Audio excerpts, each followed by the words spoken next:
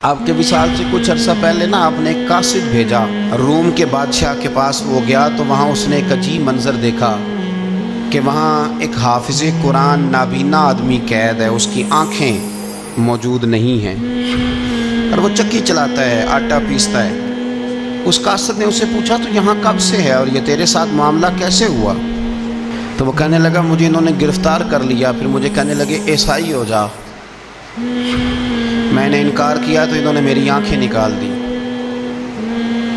अब मैं सुबह शाम ये थोड़ा सा काम करता हूँ, चक्की पीसता हूँ तो रोटी दे देते हैं। वो कासिद हज़रत उमर बिन अब्दुल अज़ीज़ के पास आया और आके का हजूर, एक किस तरह का मुसलमान रूम के बादशाह के पास कैद है।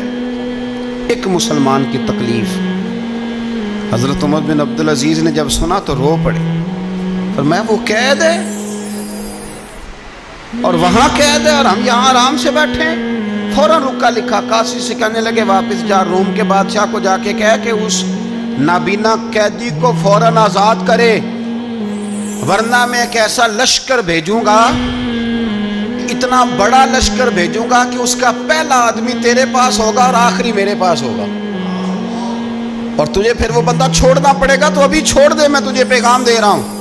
वो काशिद कहता है, जब मैं रुका लेके पहुँचा, ज़ाहिर है बड़ा लंबा सफ़र होता था, आने जाने में महीनों भी लग जाते थे।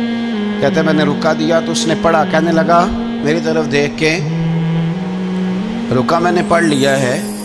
उलमा उलमा को जानते हैं। ताजर, ताजरों को जानते हैं तो बादशाह भी बादशाहों को जानते हैं। और मैं, तुम मुसलमान हो, मैं नहीं हूँ। पर इतनी तुम इस दरवेश की कदर करते हो, मैं तुम सबसे बढ़कर कदर करता हूँ। मैं इस बंदे को लश्कर लेके आने की तकलीफ़ नहीं दूँगा, मैं वैसे ही कैदी आज़ाद करने लगा। तुम ले जाओ। कहते हैं, मुझे चंद दिन वहाँ रहना पड़ा, कुछ लवाजमात थे जिनके लिए रुकना पड़ा।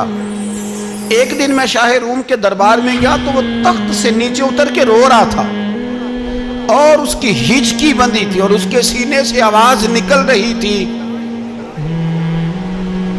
मैंने पूछा लोगों से, क्या हुआ? कहने लगे, खुद ही पूछ लो। मैंने जाके कहा, बादशाह, क्या हुआ? क्यों रो रहे हो? तो कहने लगा, आज धरती का हुसन उठ गया है। आज सिंगार खत्म हो गया। आज धरती का हुसन उठ गया। मैंने कहा, क्या हुआ? कहने लगे, उमर बिन अब्दुल अज़ीज़ इंतकाल कर गए। तुम्हारा अमीर चला गया। तो मेरे दिल में ख्याल आया, मैंने, आह भरी। मैंने कहा, फिर हमारे लिए क्या हुक्म है? तो फरमाने लगे, वो चलता फिरता राहब था। लोगों के पास कुछ नहीं होता तो वो फ़कीर होते हैं, पर उसके कदमों में, उसके कदमों में तो ख़जाने थे, पर वो फिर भी फ़कीर था। फरमाया, उसका हुक्म अगर मैं ज़िंदगी में मानता था तो मरने के बाद भी बात मानी जाएगी। तुम्हारा कैदी भी तुम्हें वापस किया जाएगा और उमर बिन अब्दुल अज़ीज़ की बात भी सुनी जाएगी।